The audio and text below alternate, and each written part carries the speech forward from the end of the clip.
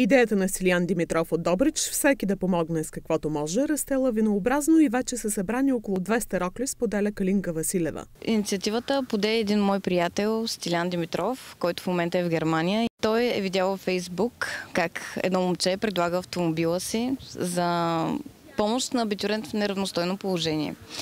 И му хрумва идеята да създаде група, с която да помогнем кой с каквото може. Идеята ни е тази група да се разрасне. Към момента е така формирана за Добрич. Идеята ни е това да, да не бъде само за 2017 година. Идеята ни е това да бъде кампания, която да се разрасне и да бъде в национален мащаб и да бъде на така напред в, във времето. Като за сега сме се събрали около 1300 души, които по някакъв начин сме готови да дарим. Било рокли, било обувки, било други аксесуари.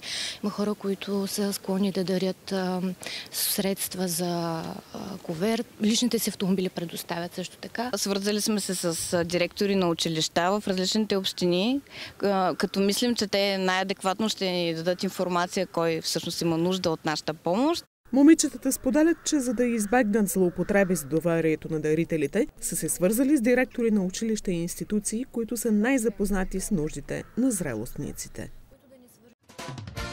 Механа Свети Георги, град Каварна. Една традиция се завърна с притегателна сила за истинските ценители на всичко българско и родно. Механа Свети Георги. Най-истинската и уютна механа, съчетание от стил и вкус, автентична обстановка, традиционна българска кухня, хубави напитки и народни ритми. Тук ще усетите домашният уют и истинското доброджанско гостоприемство. Механа Свети Георги разполага с 150 места в две зали.